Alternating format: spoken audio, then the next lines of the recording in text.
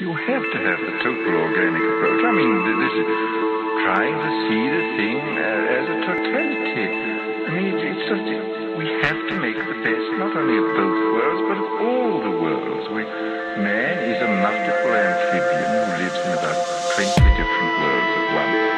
And if anything is to be done with him to improve his uh, enjoyment of life, to improve the way he can realize his desirable potentialities, his relations with other people, to improve his morality, we have to attack on all fronts at once. And we have the great, what may be called the original sin of the human mind is sloth, is oversimplification. We want to think that there is only one cause for any